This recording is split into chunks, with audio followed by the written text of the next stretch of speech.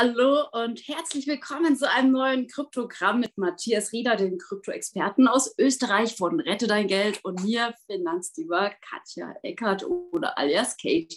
Ich bin heute richtig äh, froh, dass ich ein geiles Thema für euch vorbereitet habe mit dem Matthias, aber zuerst folgt der obligatorische Disclaimer, der Haftungsausschluss. Denn wir haften nicht für die Aussagen, die wir in diesem Video treffen. Wir ähm, haben selbst die Coins im Depot und wir möchten euch davor warnen, dass ein, gegebenenfalls ein Totalverlust drohen kann. Ihr selbst trefft die Entscheidung, welche Coins ihr handelt. Finanzdiva.de und rettet dein Geld, übernehmen keine Verantwortung für die Vermögensschäden und Verluste, die infolge der dargestellten Wertpapierpräsentationen entstehen. Und es ist auch keine Steuerberatung. Und wir weisen darauf hin, dass die Anlage in Aktien, ETPs, ETNs oder in die Coins ein Risiko für den Anleger darstellen. Im schlimmsten Fall, wie gesagt, droht euch ein Totalverlust. Los geht's und zwar mit einem fetten Gewinnspiel. Ich habe nämlich ein schönes, schönes Buch für euch beziehungsweise die Jessica. Die Jessica Schwarz hat wieder ein Buch geschrieben. Die haut echt ein Ding nach dem anderen raus und ich bin total neidisch, weil ich denke, Jessica, wie machst du das? Ich will auch mal ein neues Buch schreiben. Matthias, wie wär's? Und zwar schreibt unter diesem Video Hashtag Gewinnspiel. Am 1.9. ist der Einsendeschluss und ihr findet unter diesem Video die Teilnahmebedingungen. Der Titel lautet, wie wirklich jeder entspannt reich werden kann. Also Leute, ich wünsche euch viel Glück. Und wenn ihr äh, auch Bock habt auf weitere Gewinnspiele, wir hatten ja den CEO von Coinbase Deutschland interviewt und auch hier gibt es ein Materialist-Gewinnspiel. Äh, ihr könnt das unter dem äh, Video äh, mal einsehen, was ihr da machen müsst, denn da hatten wir eine Gewinnspielfrage. Los geht's mit dem heutigen Thema und zwar bin ich ja total äh, abstinent von finanzdiva.de in letzter Zeit, weil ich nur noch auf YouTube rumhänge und den Charles Hoskinson stalke. Ich muss gestehen, bin so Charles verliebt, dass ich äh, meine goldene Regel ignoriert habe und dagegen verstoßen habe, denn ich sage mir immer, ähm, ich halte mich immer an ein maximales, äh, einen maximalen Betrag, den ich pro Coin oder pro Aktie auch investiere, damit ich nicht blind wertvoll liebe und einfach drauf losballer all in gehe und ich habe gesagt, ich habe bei Cardano, denn das ist der Cardano-Chef, äh, mächtig aufgestockt und alle anderen Coins links liegen lassen. Hätte ich doch mal mehr Bitcoin vielleicht gekauft oder mal Tezos oder auch mal Ethereum aufgestockt. Nein, ich bin immer weiter in Cardano verliebt gewesen und einfach rein, weil Charles Hoskinson ist nicht nur Selfmade-Milliardär, ich bewundere ihn für seine Vielseitigkeit. Der sammelt in seiner Freizeit Pilze, wahrscheinlich isst er die auch, weil ich glaube immer, dass er, dass er einfach so schräg unterwegs ist. Ähm, er filmt nachts, wenn er Pilze sammelt. Also welcher Mensch sammelt nachts erstmal Pilze? Vielleicht hat es zu wenig Zeit tagsüber. Da, da filmt er auch die Tausendfüßer, die da vorbeilaufen, stellt die auf Twitter ein dann ähm, hat er jetzt eine Biotech-Firma gegründet, denn er will was gegen Anti-Aging und regenerative Medizin tun. Er kommt aus einer Ärztefamilie und er sagt immer, die Ärzte behandeln immer die Krankheiten mit Medikamenten. Aber eigentlich bräuchte man etwas, das wirklich die Krankheit wirklich an der Wurzel packt und bekämpft und nicht nur die Probleme mindert, äh, lindert. Und ich denke auch, äh, was ich cool finde an ihm ist, dass er so empathisch ist. Das heißt, er sagt immer, er hat ja auch eine Farm und da züchtet er verschiedene Tiere. Ja, und er sagt immer, den Viechern ist das scheißegal, ob du arm oder reich bist. Oder äh, das macht ihn irgendwie sympathisch. Und da dachte ich, cool, er ist ehrlich, also er kommt mir so vor und wie ein Workaholic und wie ein Genie und nur ein Genie, das auch von Ethereum herkommt. Also er ist mit der Co-Gründer von Ethereum gewesen.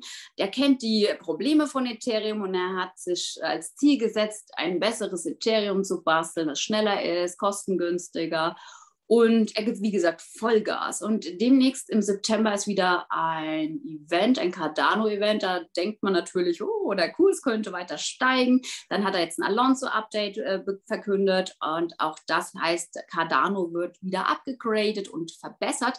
Und auch hier sehen wir einen Kursanstieg. Ich bin eingestiegen bei ungefähr 55 Cent im Schnitt, habe ich gekauft. Das war der zweite Coin, den ich mir nach Polkadot gekauft habe. Äh, und ähm, ich hatte ja am Börsenspiel teil teilgenommen und da meinte der Kolja Barkon aus von Mallorca, wir haben uns kurz unterhalten, ob ich den Cardano kenne. Und ich, nö, muss man das kennen, ja, gleich mal Cardano gegoogelt und dachte, oh, war ja unter den Top 10, äh, habe es mir ins Depot gelegt, habe mich natürlich jetzt eingelesen, CEO gestockt und war so begeistert. Und seitdem ähm, denke ich, oh, es, bei mir sind schon die Warnlichter angegangen, weil ich glaube, wenn jemand so blind einem CEO folgt wie ich auf einmal, das ist so eine Art Guru, der hat eine riesen Community, weil die alle so gierig sind wie ich wahrscheinlich und denken, oh, der wird den Cardano-Preis pushen. Gestern Nacht um halb zwölf, ich lag nicht im Bett, nein, ich habe Cardano-Chef-Video geguckt, weil er hat gesagt, seine neue Prognose für Cardano liegt bei 150 Dollar. Ich, geil, ich bestelle mir eine Yacht, ich gehe in Rente. Ähm, ich sollte ich mal meinen Mann vorher informieren und fragen, ob er mitkommt. Aber ähm, ich glaube, irgendwas stimmt hier nicht. Das ist einfach zu schön, um wahr zu sein. Und deswegen dachte ich, ich muss unbedingt ein Video machen, euch warnen und sagen, bleibt breit gestreut investiert. Nicht nur in Token und Coins, auch in Aktien, in Immobilien, in Cash, in Gold. Vergesst diese goldene Regel nicht, gegen die ich selbst gerade verstoße und sage, es ist so schwer, gegen seine Emotionen anzukämpfen. Es sagt immer, schalte die Emotionen aus. Wer kann das schon? Wir alle sind Menschen. Und jetzt haltet euch fest, Matthias sagt euch erstmal, was hinter Cardano steckt, wo der aktuelle Preis ist und warum er glaubt oder ob er glaubt, dass die Prognose von 150 Dollar schon dieses Jahr eintreffen wird. Seid gespannt. Oh weh, Katja, du hast es äh, äh, fast äh, auf den Punkt gebracht. Das Thema ist äh, in Wahrheit alles rund um den Gründer, wenn man so will, oder um den Founder, den Charles, äh, der polarisiert, charismatisch ist, äh, sehr, sehr präsent ist.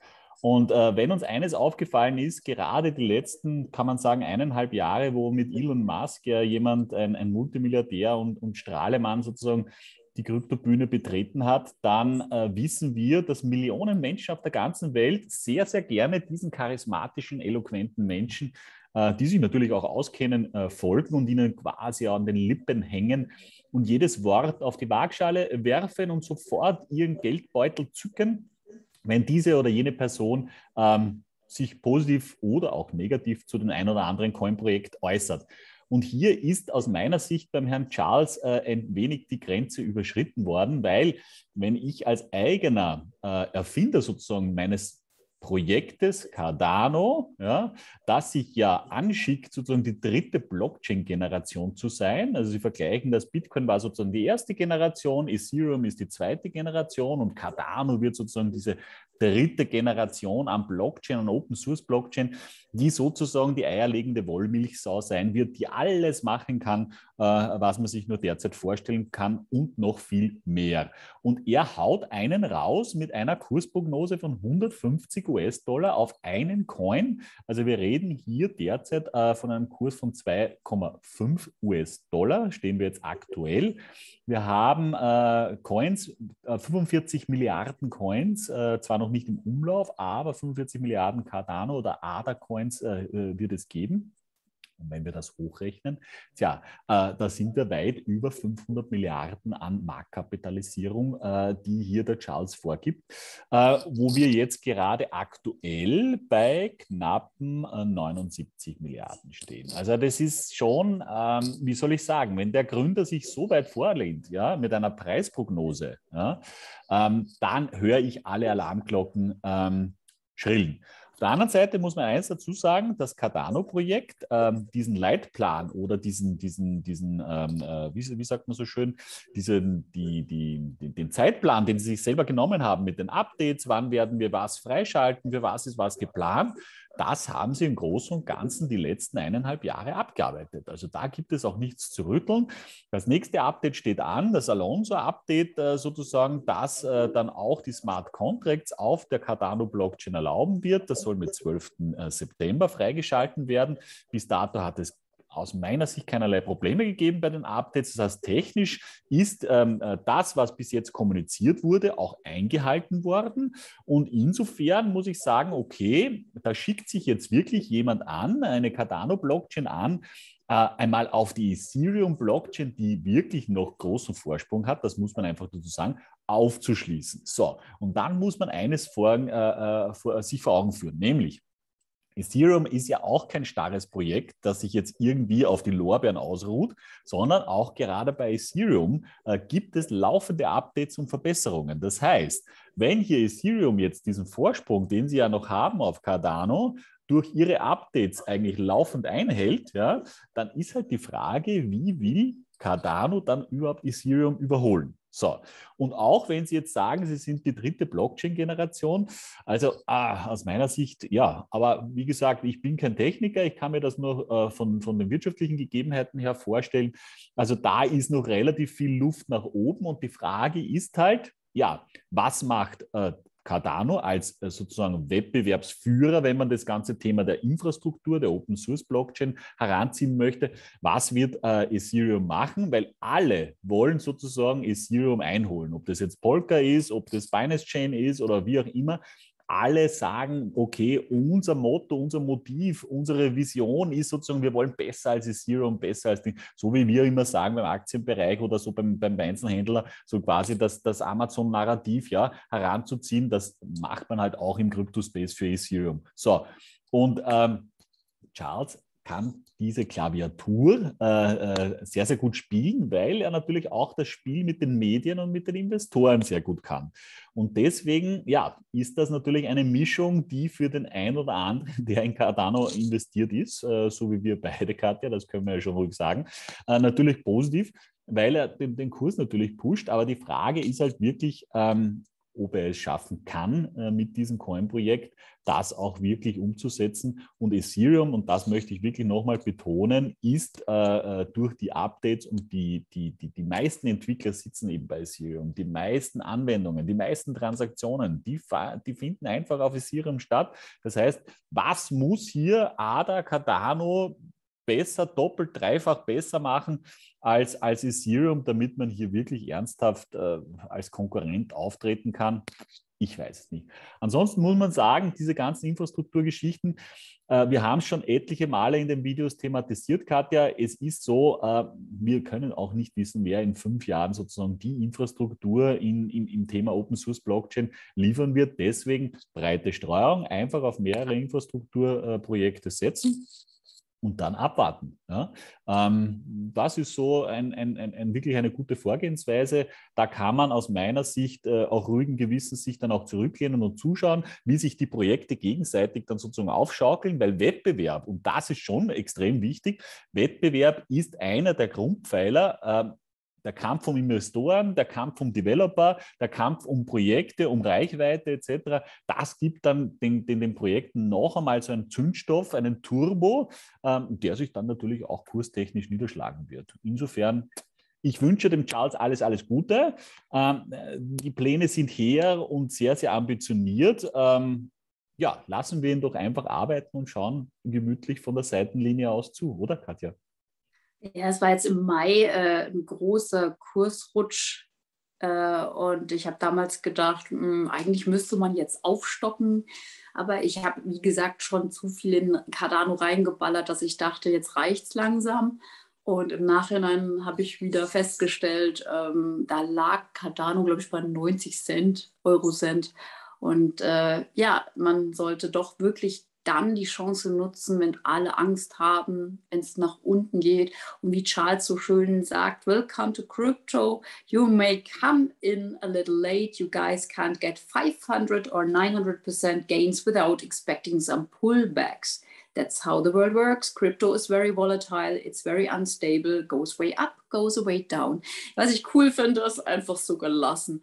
Und auch auf die Frage, ähm, was er denn zum Cardano-Preis sagt, hat er ja in einem Video vor einem Monat ungefähr gesagt, ach keine Ahnung, äh, wir gehen jeden Tag in die Arbeit und wir arbeiten weiter an Cardano. Das fand ich sehr positiv an ihm. Was mich dann doch geschockt hat, war gestern, wo er meinte, ja, 150 Dollar Kursprognose Cardano. Da dachte ich, braucht er jetzt Geld für seine Biotech-Firma oder was ist los? Ich meine, er ist Milliardär, er sieht auch nicht so aus, dass er so viel Kohle raushaut, außer für seine Firmen. Ähm, äh, er ist Mathematiker, er ist, er ist hochintelligent, wenn ihr euch den mal anschaut. Ich werde euch unten unter diesem Video ein Video verlinken von Charles, wo ich sage, das solltet ihr mal schauen.